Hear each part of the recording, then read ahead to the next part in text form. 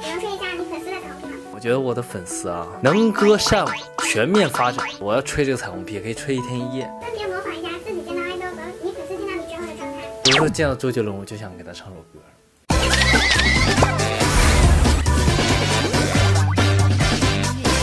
关注更美 APP，红人面对面的小仙女们，大家好，我是张哲瀚。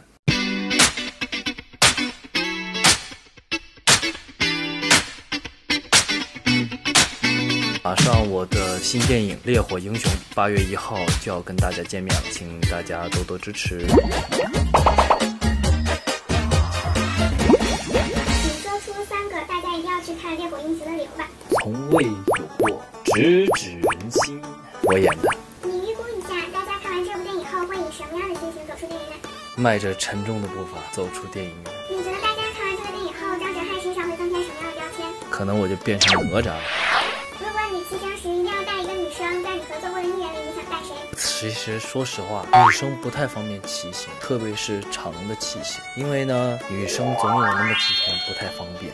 如果找的未来女朋友是一个双面在意镜子的人，有一天你和好朋友约好去打篮球，晚上你在家跟他看剧，你会怎么选？在篮球场也可以静止，我可以打篮球，他可以在旁边静止啊，这不冲突。不冲突。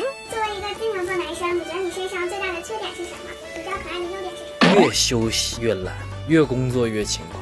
优点就是他喜欢的东西比较持之以恒吧。你和杜江聊聊一起组团打篮球，以你比较专业的角度来评价一下他们的技术吧。每个人的技术特点和风格都是不一样的。杜江老师身体不错啊，那个 muscle 练得不错啊，对抗非常的强烈啊。熊抱啊，安全之吻啊，亲密合影啊，摸肌肉啊，如果选一个做粉丝福利，你会选哪一个？合影吧，亲密合影，多亲密啊！老老实实站在旁边。看你超我觉得我的粉丝啊，能歌善舞，全面发展，每个都是……哎，完了，吹不下去了。我要吹这个彩虹屁，可以吹一天一夜。啊，我觉得我的粉丝真的就是他们很用心，我能感觉到他们很快乐，快乐追星，知道吗？打网累了，哎呀，不打了。我能感觉到他们很快乐，机场太麻烦了，哎，不去了。我能感觉到他们很快乐，就是想去说，哎，今天有时间有精力凑巧，哎，那就去看看就看吧。我觉得这样就挺好，很潇洒，很随性。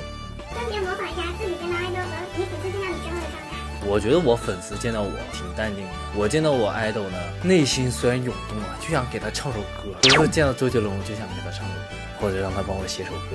哎，想太多了。然后呢，见到自己偶像韦德，就想跟他打篮球，就想跟他一 v 一 solo，如果选一个人发福二十斤，你选自己还是选粉丝？就让所有的肉让我来背。能接受极限运动，那还有什么事会让你特别恐惧？都说初生牛犊不怕虎，我已经不是初生牛犊了，我现在已经一身伤病，所以我现在特别养生。打球一小时，热身得半小时，打完球还得拉伸半小时。能不能唱三句歌词里带火的歌？可以，没问题，太 easy 了。你喷的火是我的造型，火烧的寂寞。还有什么火啊？可以，没问题，太太 easy 了。怎么忍心怪你犯了错？是我给你自由过了火。一到十分给自己的颜值打几分？七八分吧。对自己的脸上最满意的部位是哪里？鼻子最不满意的部位是哪里？没有什么特别不满意的地方，还，都还可以。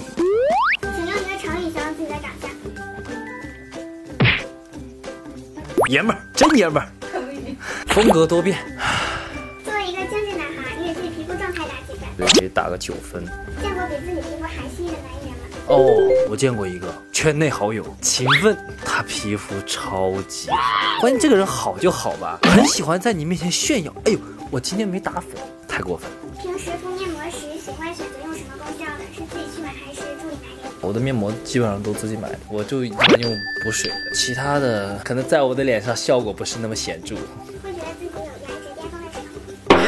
很可惜，你们都没有见过我颜值巅峰的时候，在我还是十七八岁的时候，那时候老受欢迎了。那时候的朋友啊，都说张哲瀚真的越长越难看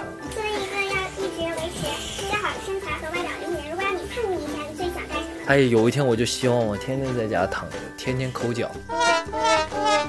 粉丝说你大概收集了一千对耳钉，家里会不会有一个大柜子专门来装耳钉？你们们是不是幻想我还有个梳妆台，整天对着那个镜子？哎呀，这个耳钉好不好看？这个耳钉好不好看？怎么可能呢？我都不知道我那耳钉放哪里去了。为什么会那么热衷于收戒指？手上戒指也不行，手环也不行，都会影响我打球吗？唯独戴耳钉，它不会影响我打球。你看现在我不戴耳钉了，那女朋友和篮球选？女朋友不就是篮球吗？还用选吗？关于你的关键词有张哲瀚颜值怎么忽高忽低的？对此你反馈？你看哈，其实大家会发现，在好莱坞，他们演员颜值就是忽高忽低的，身材就忽胖忽瘦的。当他有工作的时候，有事情他就非常专业，全情投入到他的职业当中。要他胖就胖，要他瘦就瘦，要他颜值高颜值就高了。所以呢，这就是自己对自己的要求吧。